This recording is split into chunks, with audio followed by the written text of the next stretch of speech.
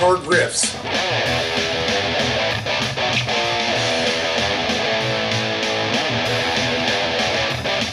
Well, hi there guys, welcome to Rock Hard Riffs. This is the rock and roll guitar channel for the self-taught. Today's video guys, we're taking a little bit of a departure. We're talking about playing with injuries again. We've talked about this once or twice before.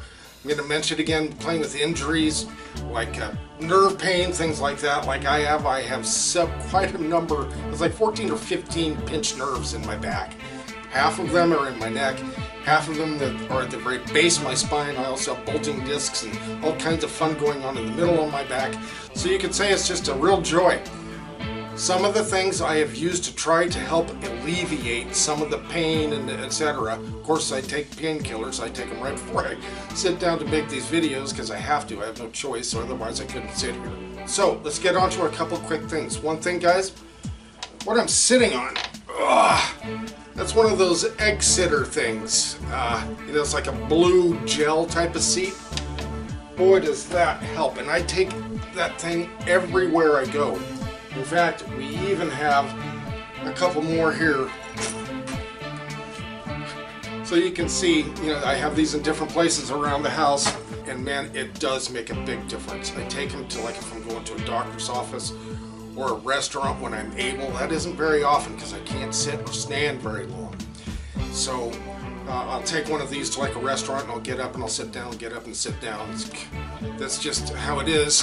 While there, I felt really alone. Till uh, my wife and I were at a restaurant this one time and I was talking to the waitress. I apologized to her because she kept seeing me stand up and then sit down and stand up. She thought maybe I wanted her or something like that. I told her, no, I just can't sit there too long. And I told her what the issue was. I had a real bad back and she said, oh, my husband has some of the same issues. And to me, it was like one of those things for a split second, it's like, wow, I'm not alone.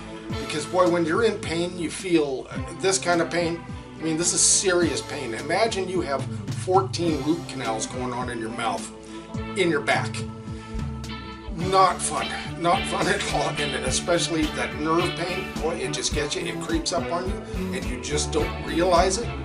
It's, it's not fun. Another thing I use, guys, is this thing.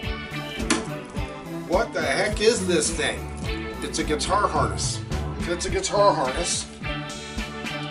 And it just straps around your midsection. And it has, has these arms that go over your shoulders. These are actually aluminum uh, plates, kind of like. And you bend them, and they stay that shape over your shoulder. And then this little hook, let me show it to you. This hooks into a little eyelet that's on the strap that is on the back of the guitar. And I'll show you that too. Now also, this is adjustable. So this is just like a, it's like a backpack kind of thing. Uh, you pull this and it gets tighter, or you you can pull up on the lever and let more of the uh, strap go through. So it's very ingenious. And I'll include some information in the description of this for you. Now, the back of the guitar, we have the strap here that's attached with Velcro. And it goes right there onto your strap buttons. Let me show you that. The hook that I was showing you earlier goes through this. So this is strapped, you can imagine, on the back of the guitar. This is towards the neck. This is towards the base of the guitar. This is where the strap goes through, and you can move this. It's adjustable. Okay, so that's very cool.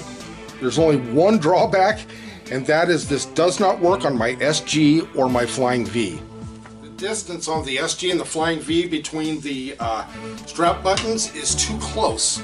And this thing can't get quite that small. But it does great on all the other guitars. And there it is. And just the hook hooks into that.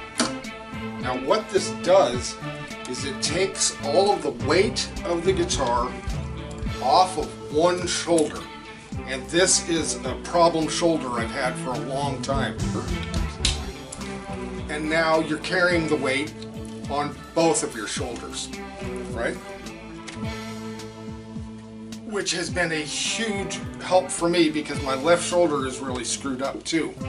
So there I just hook the guitar, the hook into that little eyelet, and away you go. And there it is. Good to go. Now we're back in action.